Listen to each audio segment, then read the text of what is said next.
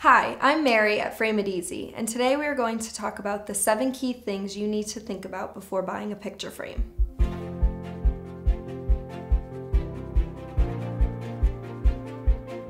Have you ever purchased a piece of art or taken a photo that you want to frame and don't know where to start? We're going to take you through the seven key things that you need to know about framing a picture. With all the mathematical nuances and an abundance of aesthetic choices, it can be difficult to know which option is best.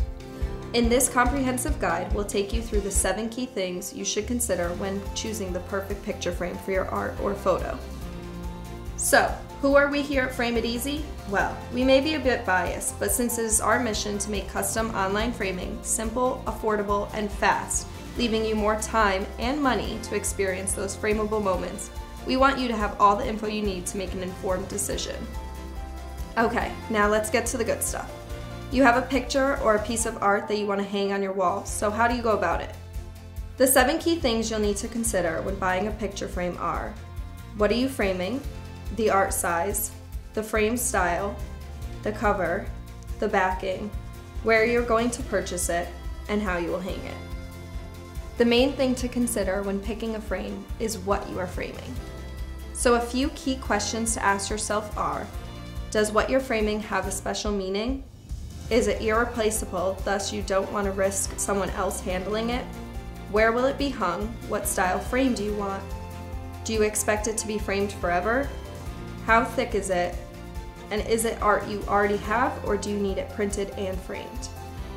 If you have something trivial or unimportant that can be cut to size or only needs to be temporarily framed, your best bet might be to purchase a stock standard size frame at almost any major retailer. Just know that many of the components of said frame, which we'll get more into depth soon, are not necessarily made to last a long time or fully protect what's inside. For anything that has value to you and or comes in a non-standard size, custom picture framing is definitely the way to go, as you will have more flexibility in those options you choose. Types of art you can frame. Art you already have, which include art prints, photographs, puzzles, diamond paintings, posters, wrapped canvas, 3D collectibles, jerseys, or digital photos and art you need printed, which can include photos straight from your phone, tablet, or desktop, or downloadable digital art you purchase online. The second thing you will need to consider is your art size. How big or small your art is can affect what framing options are available, so taking into consideration your art size is also key. For example, most framers have minimum and or maximum sizes they can accommodate. So if your art is very small or large, you might need to shop around. Helpful hint, adding matting to smaller artworks is usually a way to bypass certain minimum frame size limitations. Speaking of size, making sure your art is measured correctly is probably the most important step in the framing process. If your measurements are off, the entire frame will be off, so accuracy is key. A great looking frame isn't worth much if it doesn't perform the function it's made for, holding your art. For digital art and photos you need printed, you generally have some flexibility on what size you want it to be. The higher resolution the image, the bigger you can have it printed without losing quality. It's also important to note that with the growing popularity and quality of smartphone cameras, there is really no longer a standard size for photos. Rather than have to cut a digital photo to fit inside a standard size frame, a custom frame will allow you to get that perfect fit. You'll also want to be sure your art is printed on professional equipment with proper color calibration for best quality. Frame styles. While there are many different styles, wood and metal are the two main materials you will likely find. Wood frames can be made from solid wood, medium density fiberboard, which is a recycled wood material, and finger jointed poplar, which is a middle ground between the two, because it is still a recycled wood material, but also uses leftover solid wood pieces. Metal picture frames are made from aluminum, which can be then extruded, molded, and colored. Next is matting, a decorative lining that you put into your frame. It can complement or contrast a color in your piece that you want to stand out, or it can simply give your display an elegant dynamic. The addition of a mat board would make the overall dimensions of your frame larger as the opening of your matting would then become the window through which you view your art. The cover is another key part to your frame because it allows you to view what is inside. Just as the backing should protect your art, the cover should too.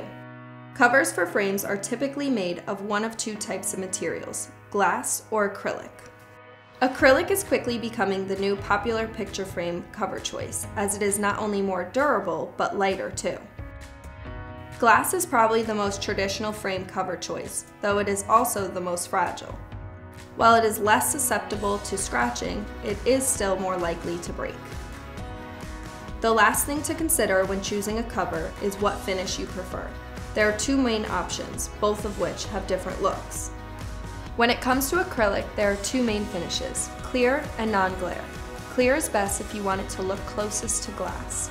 Non-glare is great if you want a slightly diffused look or the frame is in direct sunlight. The backing.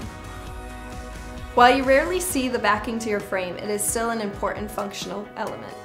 The biggest note here is that to protect and preserve your art, you want to look for a backing that is acid-free, such as acid-free foam core. Materials such as cardboard and or plastic are often acidic and can harm your artwork over time, therefore are not recommended. The next thing you'll want to consider is where you're going to purchase your frame.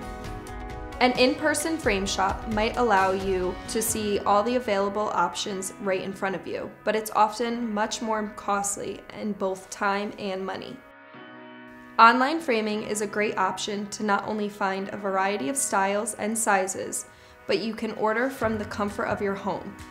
Pricing, lead time, and limitations will vary from site to site, though, so be sure to shop around to find the best fit. And finally, now that you found the perfect frame, it is time to figure out where you are going to hang it. Now that you've got your art looking good in a frame sized and styled perfectly, it's time to get it up on the wall. Both the hardware you use and the location you choose to hang it are equally as important. If your frame included the hanging hardware, we suggest using that. Since it was made for your frame, it will most likely be the best and safest option for your frame.